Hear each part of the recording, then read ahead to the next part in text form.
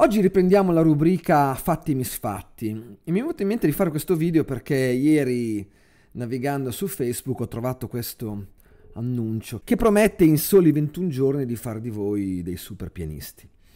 Ora la cosa mi ha fatto molto più sorridere che, che arrabbiare perché anche ai miei tempi si vedevano in edicola i famosi corsi chitarristi in 24 ore, eccetera, eccetera. Quindi questa roba, da questo punto di vista, come dire, non c'è niente, non c'è niente di nuovo. Però la considerazione che vorrei fare con voi è di due tipi, una strettamente musicale e una a respiro un po' più ampio. Quella musicale è molto semplice. Eh, se siete dei dilettanti, e uso l'aggettivo dilettanti nell'accezione più pura, più, più etimologica, anche c'è chi fa musica per diletto, per il piacere di farla, e, e quindi non perché è la propria professione. Quindi se questa è, è la, vostra, la vostra situazione va benissimo, fate questo corso, fatene mille altri, insomma, e cercate nei limiti del possibile di sfruttare al meglio il vostro tempo libero per ottenere risultati migliori che, che potranno farvi eh, avere del diletto, quindi del, diver- del, divertimento, quindi del piacere dal, dal far musica insieme. Se invece ambite a diventare dei professionisti, beh, insomma, mm, potremmo anche smettere di parlare qui, perché sapete benissimo che questo, come qualunque altro percorso che vi prometta non solo di far di voi dei virtuosi, ma di riuscirci attraverso una serie di scorciatoie, beh, sapete bene che è una baggianata clamorosa, evidentemente. Non esiste un corso, un insegnante o qualunque altra cosa al mondo che possa fare in pochi giorni di voi un virtuoso dello strumento, visto che parliamo, eh, visto che parliamo di uno strumento, ma, o, o, che possa fare di voi un super compositore o qualunque altra cosa. Perché per fare mh, mm, questo lavoro professionalmente ci vogliono fondamentalmente tre cose. La costanza, l'impegno, il duro lavoro e l'esperienza. E la fortuna, potreste dirmi voi? Beh sì, certo, in certi casi c'è anche la fortuna. In certi casi, se si ha la buona sorte di essere la persona giusta al momento giusto, buon per voi, no? Può essere quello l'inizio di, un, di, un, di una carriera. E ciononostante, se poi eh, a questa fase iniziale di fortuna non corrisponderà l'impegno, la costanza, eccetera, eccetera, una carriera non verrà costruita, farete qualcosa e poi vi fermerete.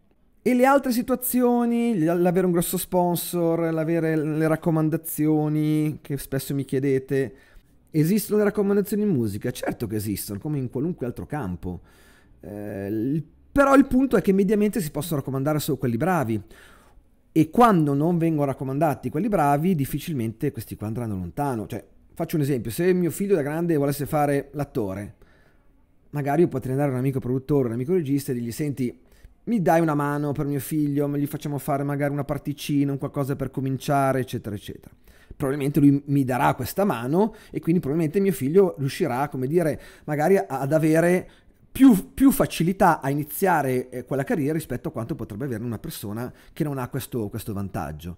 Ma detto questo, se poi mio figlio non saprà recitare, la seconda, terza volta che andrò a chiedere il favore, l'amico produttore, l'amico regista mi dirà, Ciccio, sei simpatico, ti voglio bene, ma tuo figlio è un cane rognoso, non, me lo direbbe in questi termini evidentemente, insomma troverà il modo, ma poi insomma se, se sono un minimo obiettivo io, anch'io saprò vedere o non vedere in lui il, un certo tipo di talento.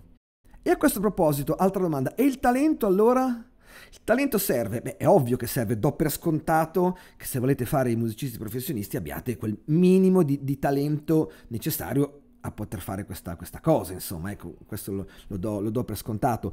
Ma ciò non toglie che potreste anche non avere un talento strepitoso, quindi non diventerete mai probabilmente eh, dei, dei, dei, mostri sacri del vostro settore, ma ciò non toglie che con un talento normale, una normale predisposizione, possiate fare una carriera normale e anche soddisfacente. Però questo discorso che ho fatto sulla musica in realtà mi porta a una considerazione più ampia, e cioè che vedo troppe volte in internet eh, la tendenza a trovare la scorciatoia. Io lo so bene che in qualunque settore, in, parliamo in quello artistico in generale, ma insomma non è che negli altri sia tanto diverso, c'è un'enorme quantità di persone che vuole fare determinati lavori. E la verità è che non c'è posto per tutti. Però da questo a pensare che ci siano eh, dei maghi che abbiano il segreto, eh, il segreto per farvi, fare, per farvi prendere le scorciatoie, questo è assolutamente diseducativo, ma soprattutto è fuorviante perché non funziona così. Cioè, come detto prima, non esiste un sistema che farà di voi eh, dei grandi pianisti se siete dei pianisti scarsi, se non studiare tanto tempo, non 21 giorni, forse 20 anni, magari un po' di meno, insomma, ma tanto, tanto, tanto impegno. E poi ci sono mille altri settori, cor- corsi che vi promettono di riuscire a fare i doppiatori o gli attori o, o i presentatori televisivi o le, vi dico modelli e modelle, insomma tutto questo però non tramite eh, l'impegno e la preparazione, ma banalmente tramite il, il trucchetto. E questa cosa cosa cela a, a, al di sotto? Cela il fatto che io ti sto dando il metodo per riuscire in meno tempo e meno sforzi. Se non accetti questo metodo sei stupido, cioè passa il concetto che non fare come quei poveri idioti che invece si rompono la schiena o le dita sullo strumento. No, quelli stanno sbagliando completamente tutto. Ma va, lascia stare. Non parliamo poi di mille guru del trading online, no? Che ti dicono che in due mesi guadagnerai decine di migliaia di euro e avrai l'aereo, l'aereo privato, l'elicottero e tutte queste cavolate qua. Ragazzi, e mi rivolgo veramente ai ragazzi, vi prego, spero che non siate così sprovveduti da credere a queste panzane, quando non si tratta di truffe vere e proprie che poi sfociano anche magari nel penale. Non credete a questi guru, credete piuttosto in voi stessi, credete nel lavoro duro. Il lavoro duro alla lunga paga sempre. Non vuol dire che darà a tutti gli stessi risultati e non vuol dire che darà a due persone di identico valore gli stessi risultati, perché poi ci sono mille altre cose, mille altre questioni che possono entrare in ballo. Eh, il carattere, la, la, la perseveranza, la capacità di reggere lo scontro, la capacità di prendere le porte in faccia, la capacità di sentirsi dir di no senza affliggersi. Per cui in conclusione ragazzi, io lo so che voi siete nati con i social e che quindi credete che sia normale quello a cui assistiamo quotidianamente da anni, cioè vedere sui social degli scappati di casa senza alcun talento, alcuna preparazione che a malapena sono in grado di dire il proprio nome con milioni di follower. E allora il concetto che passa è io che, che, sono scappato di casa, che non valgo niente, eccetera, eccetera, mi immedesimo in quello che è scappato di casa quanto me, che, che ha il talento che ho io, cioè niente, però se ce l'ha fatta lui allora ce la posso fare anch'io.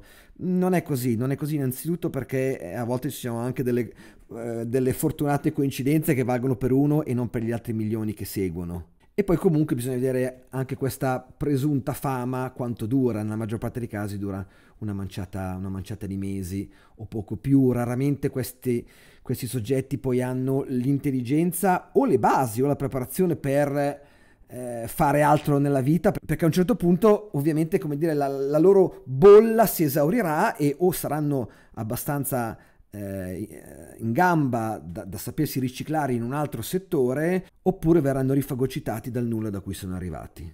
Per cui occhio ragazzi, non ci cascate.